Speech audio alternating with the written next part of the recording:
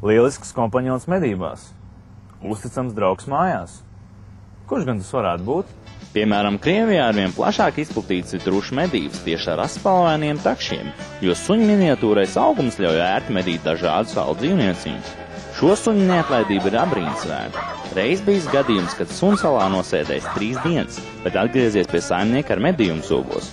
Kā radies aspalvainais taksis? Aspalvainais taks ir veidots krustojot savulaik parasto izspalvaino taksi, kas ir pierastāks cilvēkiem ar dažādu veidu terjeriem.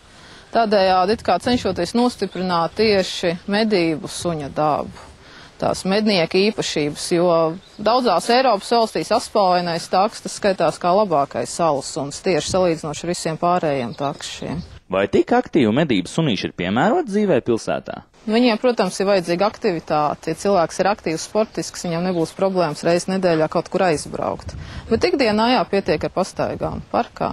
Protams, viņš nav domāts dzīvē uz dīvāna tikai un vienīgi kā rotaļlieta, viņam ir vajadzīga aktīva dzīve. Bet Rīgas dzīvokļos vai kurā dzīvoklī nav problēmas. Aspalvaino takšu kopšana neprasa liels pūles. Divreiz gadā jāveic trimēšana, jeb spālu noplūkšana, bet mazgāt. Savu ar spītu, bet suns ir jāmāc, kā jebkurš suns nedrīkst uzkundzēties saimniekam. Ja spītīgi, kas varbūt tās man patīk tieši sunī, ka viņš ir spējīgs patstāvīgi domāt, Ja, ka nav tāds, tāds pilnīgi tāds uz divām guļošs un, un, un neko nedarošs sargs. Un arī paralēli tam mazajam augumam viņi ļoti labi sargi.